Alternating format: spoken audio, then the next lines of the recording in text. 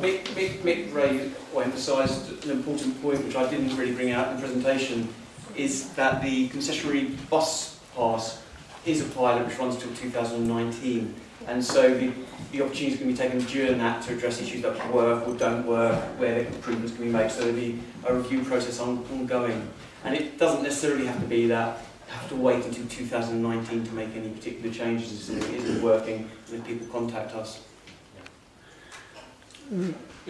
The distribution of taxi ranks. I often see taxi ranks, no taxis on them. And obviously I know at night they tend to congregate to certain places. But it's not very good if you happen to have a disability. Mobility isn't always... I mean, the taxi should come to you, obviously. Obviously, you can phone up for a cab. But there should be more... The distribution of taxi ranks, they are available. If they're not... Like there's one outside the Embarrassment Street. I don't think I've ever seen a taxi on that one. I don't know if it still is a taxi rank. That was a, um, the rank in Beresford Street was for evening times to Right. serve the demand from some of the uh, nightclubs and restaurants in that area. Right. I think it is still used occasionally.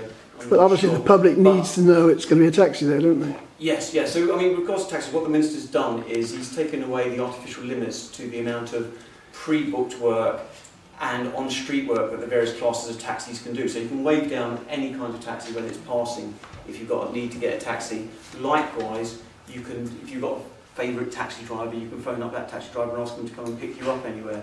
And so more taxi drivers to do more of that kind of work. And so that's to try and remove some of the inefficiencies with the system what we would be very keen to see, and what's obviously taken off in a lot of other jurisdictions, are, are taxi apps where people with a smartphone press a button, it's GPS enabled, and the taxi just comes to you. So, you know, taxi ranks, I think there'll always be a need for an area where taxi congregate to, to go there, it's readily identifiable, but I don't really see that as the future of, of taxis personally.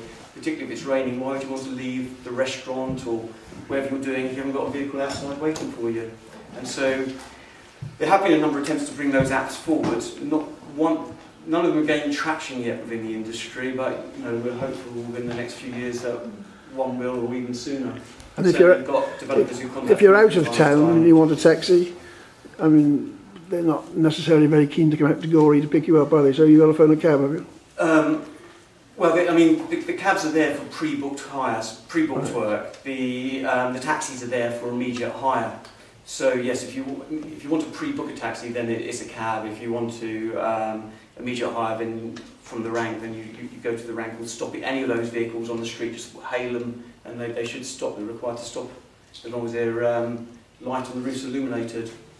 They shouldn't go past. Okay, is there any other?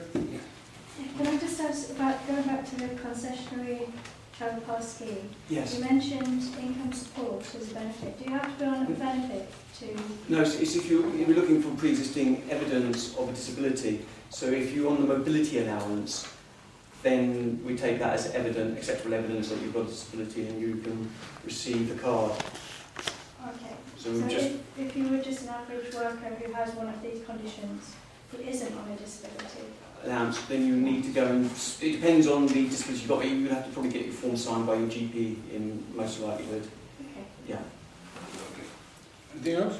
I think John's got a couple of points for Tristen, would be good. Yes, uh, well, just one, a couple later, but uh, quick ones.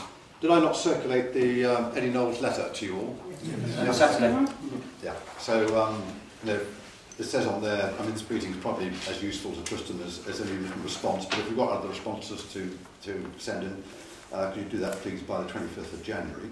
The second thing, you said we can collect the forms from a variety of places uh, Yeah. from February. Is there a date, beginning, end, or...? Um, we haven't, we haven't actually set the exact date. We work on the basis of the soft launch, as um, Tristen described, it's probably the second week in February, which give about three weeks for people to start getting their things together before a sort of first of March, uh, when the, the cars will be available. That's, that's subject to a bit more work, but that's what we're aiming at. Okay. Well, when you send me the presentation, Tristen, if you've got a date, I can stick it in the notes because I think some people will have to make a plan to get to one of these places to pick the forms up. Yes, or I mean the form will be um, downloadable, I imagine, so you can get it, you can download it, you don't actually have to go there if you've got a computer and a The, printer. the release, ju- just to be clear, the release of the forms, etc., will be, there'll be, there'll be quite an awareness campaign going and we'll be sending them out to various organisations as well. So hopefully you won't be able to miss the fact that we've actually launched the scheme. Okay. And then my final one is if you're looking at talking about taxi apps, that mean you're going to license Uber to come to Jersey? Uh, interesting model. Okay, Association, into OC Health. Um, we're happy to come and talk to anybody else. This is about assistance. It's very similar to the Connect card, but this is purely for travelling um, on buses at the moment. But I've just been speaking to Tony, and this is going to be rolled out to the taxis as well. And it literally is nice sticker. Um, you can say which um, disability that you require assistance with. Um, you don't have to give us all your personal details, there's no registration. It purely is, um, I have a sight impairment, can you tell me when to get off at the next stop, for example, or things like that. Nice and simple, no registration, and it's about assistance. Um, and anybody who wants us to come and talk to your um, relevant group, please shout up, we're happy to come and talk. And I'll just pass some of these around for anybody who hasn't got any already. And that's, and and they're collected from the bus station, aren't they? yes. Yeah. So, yeah, just, Oh, right, so then I'll go and get one from the bus station. That's what we've got. Mr. Jersey Epilepsy. I So if I could have, uh, we have another one. Yeah. Please. hopefully they're, hopefully they're being passed back with Brilliant. Okay, is there anything else? Uh, Nikki obviously did a thorough presentation.